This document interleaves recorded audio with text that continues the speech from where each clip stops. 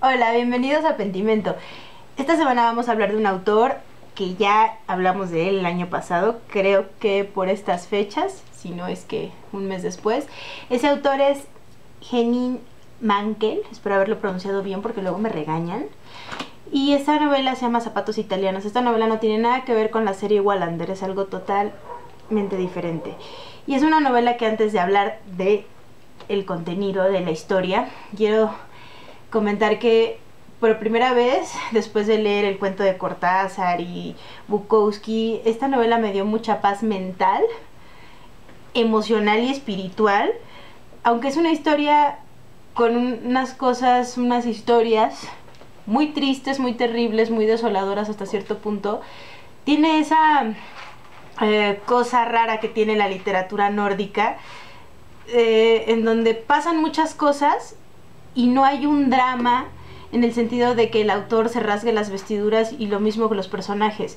Pasan cosas terribles y ellos tienen una frialdad y una calma que de alguna manera me lo lograron transmitir en esta ocasión.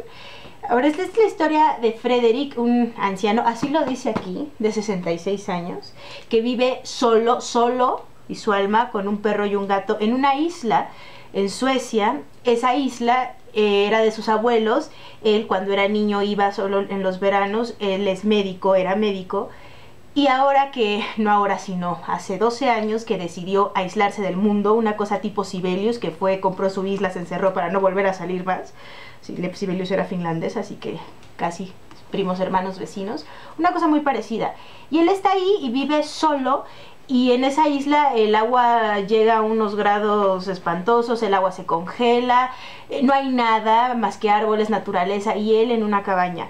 Y su único contacto con el mundo es el cartero que llega todos los lunes, nunca le trae cartas porque nadie le escribe porque no tiene a nadie en el mundo y el cartero solamente va porque es un poco hipocondriaco y cree que este cuate Frederick pues es como su médico de cabecera, aunque él ya no ejerza la medicina y llega y le dice, es que ¿qué crees casi que me duele una uña? Seguro tengo un tumor. Entonces es un personaje que a Frederick no lo exaspera, sino lo que le sigue.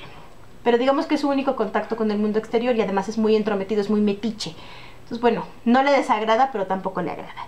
Y un día, en la vida, en esa monótona vida, pero de mucha calma y de mucha paz, porque como no convive con la gente y no ve a nadie por elección propia, ve al fondo una silueta de una mujer que viene en un andador y de repente por principio cree que es un espejismo, porque ¿qué hace una mujer en medio de esa inmensidad de hielo con un andador?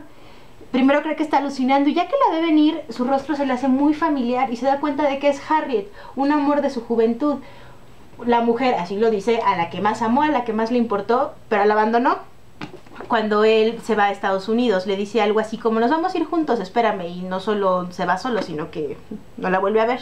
Y cuando ve que es ella, primero es como se reencuentran, se ven y es como si no hubiera pasado nada, como si no hubiera pasado el tiempo.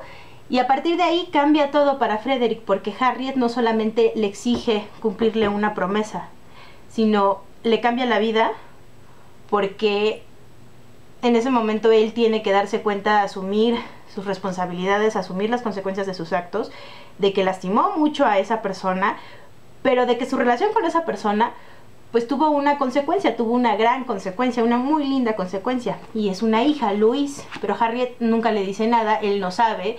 Y a partir de ahí empiezan una serie de cosas, de la vida, de perdón, de expiación.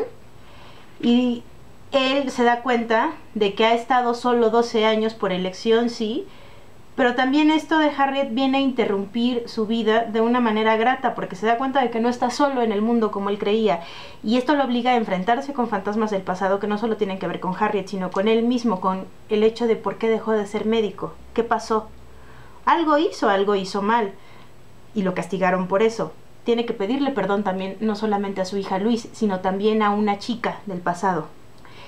Y eso lo lleva, es, en ese sentido se encuentra con puras mujeres, porque no solo es Harriet, es Luis, es otra chica, y son un montón de chicas, chicas, porque les digo chicas no solo porque son mujeres, sino porque son jóvenes, que vienen de como refugiadas de países en guerra, y él tiene que enfrentarse con esa realidad en un momento, y es algo muy doloroso, es de las cosas más dolorosas que ocurren en la novela, porque se da cuenta de lo vacía que está su vida y de lo simple que es en comparación con el dolor de otras personas que han pasado por cosas inenarrables y allí están completas y hechas pedazos al mismo tiempo, pero reconstruyéndose. ¿Y él qué ha hecho?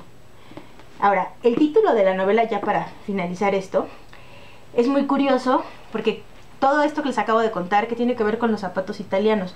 Bueno, es que la hija vive en un, pues en una especie de, ay, ¿cómo se llama esto? De carro rodante, se me fue el nombre, y vive en unas condiciones aparentemente muy precarias, pero trae unos zapatos exquisitos, hechos a la medida, italianos, carísimos, son hechos para ella, únicos en el mundo. Y ella le hace un regalo a él y le manda a hacer unos zapatos con un zapatero italiano. De ahí muchas otras cosas. Ojalá la puedan leer. fue, insisto, me dio mucha paz por muchas razones. Y está en Maxi Tusquets en bolsillo y también está en la versión grande. Está en todos lados, no hay manera de que no lo encuentren. Si se animan, no se van a arrepentir. Y bueno, la serie Wallander, eso ya lo hablamos. No necesitan saber más del autor porque ya lo dije. Y suscríbanse en el botón que está aquí abajo y denle like al video.